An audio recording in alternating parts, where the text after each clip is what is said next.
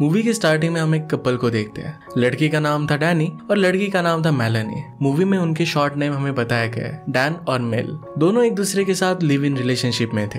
एक दूसरे से वो बहुत प्यार करते हैं। वो दोनों अपने आप को बहुत लकी मानते हैं कि एक दूसरे से मिले। पर अभी भी उनकी शादी नहीं हुई है। वो एक दूसरे के साथ छह सालों से रह रहे थे। डैन एक म्यूज़िक रिकॉर्ड कंपनी में इंटर्नशिप कर रहा था और मेल अपनी ग्रेजुएशन कर रही थी। डैन बहुत अच्छा था, पर वो काफ़ी प्रैक्टिकल था। उसके ऑपोजिट मेल बहुत इमोशनल है। वो अपने ड्रीम्स के साथ कभी भी कॉम्प्रोमाइज ना करने वाली लड़की है। उसे लगता है कि इस मतलबी दुनिया में प्यार को हाईएस्ट प्रायोरिटी देनी चाहिए। अब हम देखते हैं कि डैन और मेल ये दोनों अपने बेड पर थे, कडल कर रहे थे। नेक्स्ट में मेल अपनी दोस्तों के साथ पार्टी में गई हुई थी। वहाँ पर सब लोग बहुत ड्रिंक करते हैं। मेल की एक फ्रेंड ने भी बहुत ज़्यादा ड्रिंक कर ली थी। मेल की फ्रेंड अब ड्रंक होने की वजह से ड्राइव नहीं कर सकती थी। अगर उसने किया तो पुलिस या किसी और प्रॉब्लम का सामना उसे करना पड़ सकता था। वो फिर मेल से कहती है कि प्लीज़ मुझे घर पर छोड़ दो।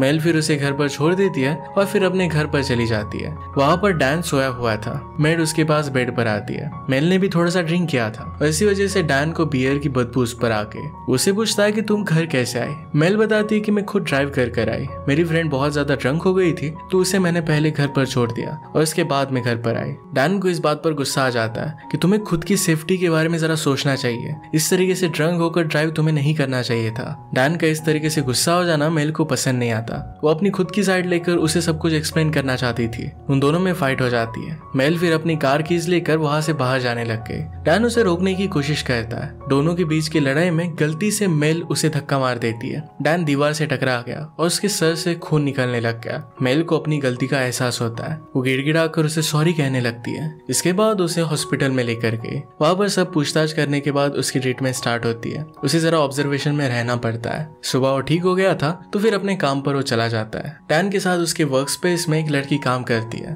उसका नाम है एमेंडा वो बहुत ही फ्रेंडली थी, क्योंकि डैन के साथ वो हमेशा काम करती थी। हमेशा वो मिलते जुलते रहा करते थे। डैन अपने काम पर गया तो वहाँ पर भी उसे अमेंडा मिली। बातों बातों में अमेंडा उसे पूछती कि तुम्हारे सर पर क्या लगा? डैन जो भी हुआ था, इस बात को छिपाना चाहता था। पर अमेंडा इस बात पर ज़ोर डालती है। उसे बता देता है कि मेरी गर्लफ्रेंड के साथ मेरी लड़ाई हो गई थी और एक्सीडेंटली मुझे ये लग गया। अमेंडा उसे कहती है कि तुम्हारी गर्लफ्रेंड के बारे में मुझे बताओ। डैन कहता है कि लास्ट सिक्स ईयर से हम दोनों रिलेशनशिप में। कल ये चोट लगी थी तो पूरी रात वो मेरे साथ हॉस्पिटल में ही थी। अमेंडा इस बात पर उससे पूछती है कि अगर तुमने मेल को पुश किया होता और या फिर उसे चोट लगी होती तो क्या इतनी ही चीज़ें सारी नॉर्मल रहती? जिस तरीके से तुम उसे माफ़ कर रहे हो, क्या वो भी तुम्हें माफ़ करती? डैन इस बात पर कहता है कि मुझे नहीं पता। एमेंडा डैन को फिर होने वाली एक फन मीटिंग के लिए इन्वाइट करती है। फिर वो अपने काम के लिए वहाँ से चली गई। अगले सीन में हम देखते हैं कि एक प्राइमरी स्कूल के क्लास हमें दिखाया जाता है। वहाँ टीचर सब बच्चों को ग्रीट करते हुए कहती है कि आपकी एक न्यू टीचर आई। है। मेल प्राइमरी स्कूल में ज्वाइन कर रही थी। वो सबको बहुत अच्छी तरीके से ट्रीट करती है और बच्चों के साथ भी वो अच्छी तरीके से घुल मिल गई। इसके बाद हम डैन को उसके कलीग के साथ देखते हैं। सब लोग कह रहे थे कि एक शो देखने के लिए वो ब्रुकलिन जा रहे हैं। इसके लिए सब लोग बहुत ही एक्साइटेड थे।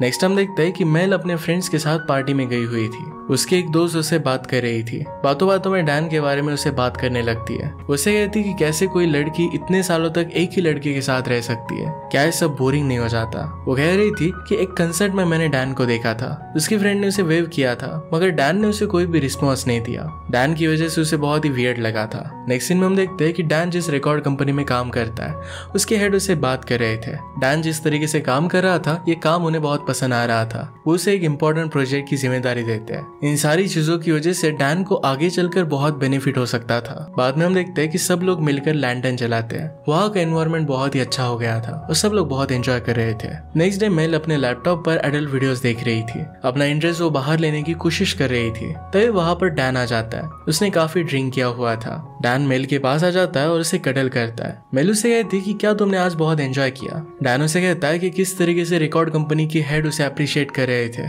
उसने जो न्यू रिकॉर्ड बनाया था, कहता है कि तुम्हें वो सुनना चाहिए। ये सुनाने के लिए मेल का लैपटॉप लेने की वो कोशिश करता है। मेल उसे लैपटॉप देने से मना कर रही थी और कहती है कि रिकॉर्ड हम कल सुन लेंगे। डैन जिद करता है कि हमें रिकॉर्ड आज ही सुनना चाहिए। वो मेल के हाथों से लैपटॉप छीन लेता है। वो ओपन करता है तो मेल एडल्ट वीडियोस देख रही थी। ये डिस्कवर करता है। इस बात से वो शौक हो जाता है। उसे पूछता है कि तुम्हें देख क्यों रही थी? क्या तुम्हें हमारी लाइफ में इंटरेस्ट नहीं है? मेल इस बात पर काफ़ी नर्वस हो गई टैन की हर एक बात को टालने लगती है। वो कहती कि मैं सब ऐसे ही देख रही थी। वो डैन से पूछती है कि क्या तुम ये सब कभी नहीं देखते? डैन एक्सेप्ट करता है कि वो भी देखता है। ये सब वो ज़्यादा सीरियसली लेता नहीं एज अ फन देखता है। इसमें कोई बुरी चीज़ नहीं है। बस ये कभी कभी जरा वियर्ड हो जाता है। उसे इंटरटेनिंग लगता था और इसी वजह से देखा करता था। इसके बाद दोनों अपने रूटीन में लग जाते हैं। डैन मेल को कहता है कि जिस रिकॉर्ड कंपनी में मैं काम कर रहा हूँ, वहाँ की एम्प्लॉय ने मुझे कहा कि एज ए इंटर्न वो एक साल से ज़्यादा लोगों को नहीं लेते। पर अब डैन वहाँ पर दो साल से था। इसका मतलब है, अब उसे एक ऑफ़र मिलने वाली थी। उसे परमानेंट जॉब वो देने वाले थे।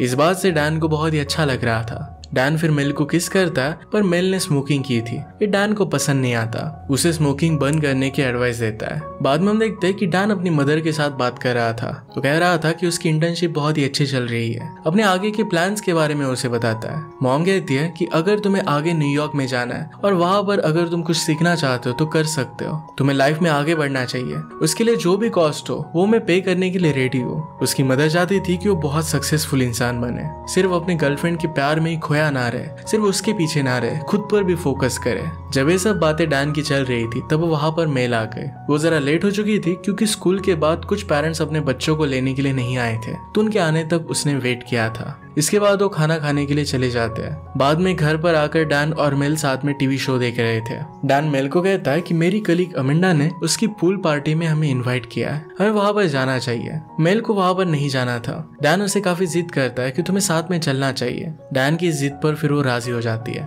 उसे प्रॉमिस करता है कि अगर तुम्हें वहाँ पर अच्छा ना लगे तो थोड़ी देर में हम वहाँ से जा सकते हैं। प्लान के अकॉर्डिंग फिर अमेंडा और उसके ऑफ़िस के कलीग सब मिलकर बहुत मज़े करते हैं। पूल में गेम्स खेलते हैं। थोड़ी देर में मेल डैन को कहती है कि अब हमें घर पर चलना चाहिए।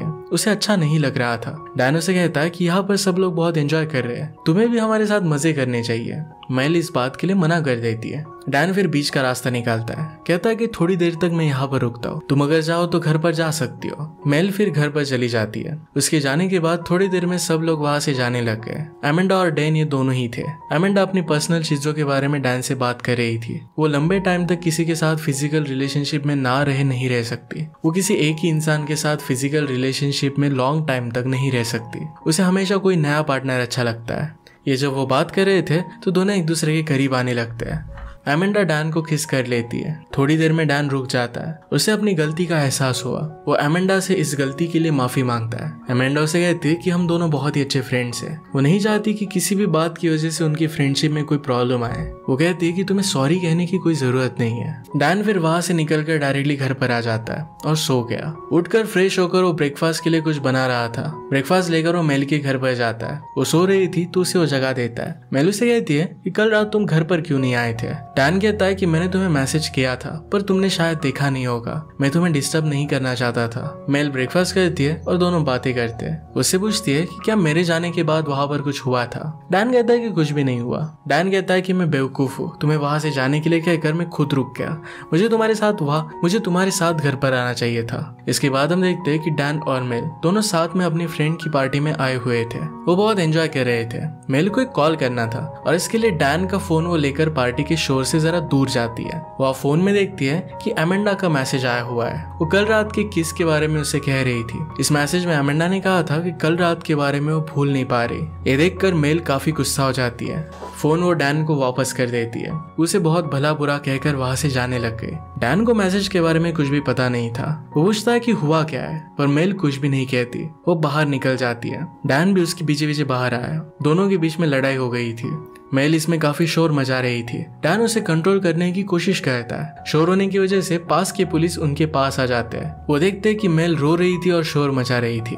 डैन उसे कंट्रोल करने की कोशिश कर रहा था। पुलिस को लगा कि डैन उसके साथ कुछ गलत कर रहा है तो उसे अरेस्ट कर लेते हैं। उसे अपने कार में बिठा कर लेकर गए। मेल वहाँ पर सिर्फ़ रो रही थी। डैन उसे कह रहा था कि पुलिस को समझाओ कि कोई भी क्राइम नहीं है, पर मेल वहाँ सिर्फ़ खड़ी होती है, कुछ भी कहती नहीं। पुलिस फिर उसे लेकर चले जाते हैं। वहाँ पर खड़े होकर मेल को रियलाइज़ होता है कि उसने पुलिस को कहना चाहिए था कि उसका बॉयफ्रेंड है। कुछ भी उसने उसके साथ गलत नहीं किया है, अपनी गलती उसे रियलाइज़ होती है। वो फिर पुलिस स्टेशन आ गए और वहाँ पर इंक्वायरी करती है। उनसे पूछती है कि डैन को कब छोड़ेंगे। अब 24 फोर आवर्स तक तो डैन को वहाँ पर रहना ही था। पूरी रात डैन को वहीं पर गुजारनी पड़ती है। सुबह होने पर उसे कुछ पेपर वर्क दिया जाता है और इसके बाद उसे छोड़ देते हैं। वहाँ पर मेल भी आई हुई थी। मेल से जो गलती हो गई, इसके लिए उसे बार बार सॉरी कहती है। डैन अभी उससे कुछ भी बात करने की मूड में नहीं था। वो कहता है कि मुझे घर पर ड्रॉप कर दो। डैन जब अपने काम पर गया तो उसे वहाँ पर एक न्यूज़ मिलती है। उनकी कंपनी न्यूयॉर्क में एक न्यू ब्रांच ओपन कर रही है। वहाँ पर उन्हें एक बहुत ही इंथुजियास्टिक और एक अच्छा एम्प्लॉय चाहिए, जो ये सारी रिस्पॉन्सिबिलिटी निभा पाए। डैन इस बात से बहुत ही खुश हो जाता है, क्योंकि उसे चूज़ किया गया था। इस बात की वजह से वो बहुत खुश हो जाता है और अमेंडा को बताता है। वो फिर उसके साथ डिनर करने के लिए जाता है। पैरल में मेल बहुत ही दुखी थी कि डैन के साथ उसकी इतनी बड़ी लड़ाई हो गई है।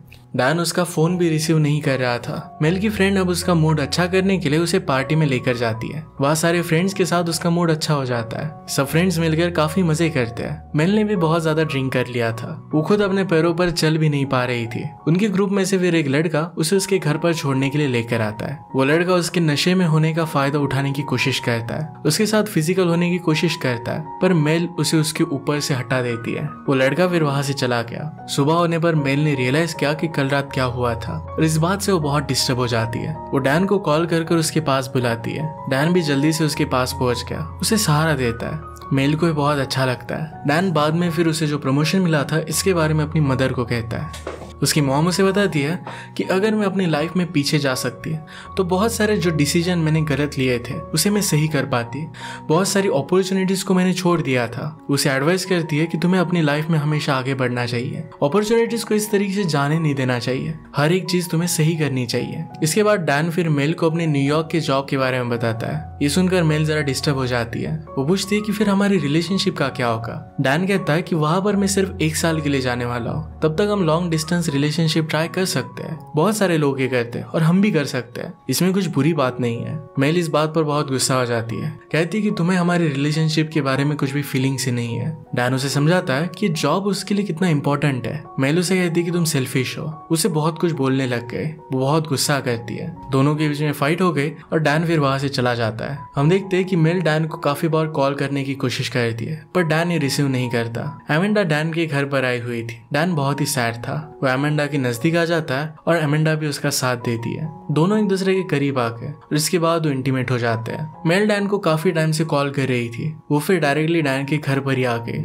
वो देखती है कि एमेंडा और डैन दोनों इंटीमेट हुए इस बात से वो बहुत ज़्यादा गुस्सा हो जाती है। वहाँ से रोते हुए वापस चली गई। डैन उसे मनाने के लिए उसके घर पर जाता है। दोनों के बीच में लड़ाई हो गई। मेल एक्सेप्ट नहीं कर पा रही थी कि किस तरीके से डैन ये सब उसके साथ कर सकता है। दोनों की लड़ाई के बीच में मेल डैन को धक्का दे देती है। डैन का फीट नीचे पड़े हुए शीशे से टकरा जाता है। इससे उसे चोट आ जाती है। बाद में उसे हॉस्पिटल में लेकर गई थी। उसके जगने का मेल उसके बेड के पास वेट कर रही थी। जैसे उसे होश आता है तो मेल उसे सॉरी कहती है। दोनों एक दूसरे से माफ़ी मांगते हैं। डैन कहता है कि मैं तुमसे बहुत प्यार करता हूँ। मेल भी कहती है कि मैं भी तुमसे बहुत प्यार करती हूँ। डैन ने कहा कि अब मैं न्यूयॉर्क नहीं जाना चाहता। मैं तुमसे ब्रेकअप नहीं कर सकता। मुझे तुम्हारे साथ ही रहना चाहिए। मेल कहती है कि तुम्हें ऐसा नहीं करना चाहिए। तुम हमारे लिए इतना बड़ा सेक्रीफाइस नहीं कर सकते। डैन ये करने के लिए हाँ कह रहा था। मेल फिर उससे पूछती है, क्या तुम मुझसे वादा कर सकते हो? पूरी ज़िंदगी मेरे साथ ही गुजारोगे. डैन रियलाइज़ करता है कि इस बात के लिए कमिट नहीं कर सकता। वो मेल से प्यार तो करता था, पर फिर भी अपने करियर को पाना चाहता था लाइफ में आगे बढ़ना चाहता था। वो अपनी पूरी लाइफ उसके साथ, ये सारी चीज़ें सेक्रीफाइस कर कर अपनी पूरी लाइफ उसके साथ वो नहीं बिता सकता था। इसी वजह से उसे मना कर देता है। मेले बात समझ जाती है और फिर वहाँ से चली जाती है। इसी के साथ ही मूवी एंड हो जाती है। अगर आपको एक्सप्लेनेशन अच्छा लगता है तो प्लीज़ लाइक और कमेंट ज़रूर कर दीजिएगा।